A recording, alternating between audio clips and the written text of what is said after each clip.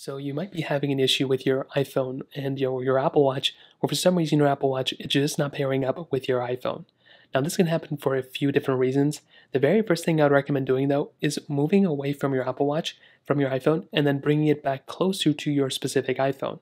Making sure your Apple Watch is charged up and everything, that is the very first thing you want to make sure.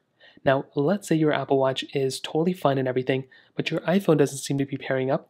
Well, the first thing you may want to do is make sure that your iPhone is up to date on the version of software that's suitable, as well as your Apple Watch. If your Apple Watch is on a newer version of your Watch OS, but the iPhone that you have may not be suitable for it, well, what you're going to have to do is go ahead and go into your settings of your iPhone, first make a backup of everything, then go inside of your settings, click on General, go and click on Software Update, and just go and see if there's an update available for your uh, you know, iPhone.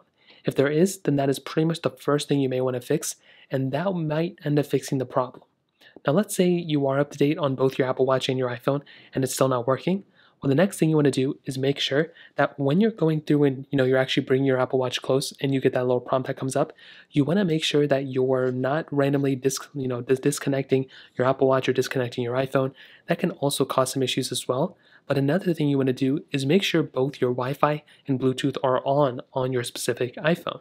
So what you want to do here is make your way back into your settings like this. You want to scroll down into Bluetooth right here. And all you want to do is go ahead and make sure that your Bluetooth up here is fully turned on. If this is turned off, that can be another thing that can cause some issues as well. Now, another thing you may want to do is hop into your Apple Watch application, which is right here.